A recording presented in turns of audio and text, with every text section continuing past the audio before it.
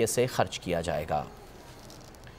पंजाब के वजी अला मोहम्मद शहबाज शरीफ से लाहौर में बोस्निया हर्जगोविना के सफ़ीर नेंडम मैक्रियोक ने मुलाकात की। मुलाकात में बाहमी दिलचस्पी के उमूर और दो तरफा ताल्लुक के फ़रोग पर तबादला ख्याल किया गया। वजी अला ने कहा कि जी एस पी प्लस का दर्जा मिलने के बाद पाकिस्तान की टेक्सटाइल और गारमेंट्स मसनूआत की बरामदात में इजाफा होगा और मुल्क में रोज़गार के नए मौाक़े पैदा होंगे। उन्होंने पाकिस्तान और बोस्निया हर्जगोविना के दरमियान बाहमी तजारत का हजम बढ़ाने के लिए वफूद के तबादले की ज़रूरत पर ज़ोर दिया।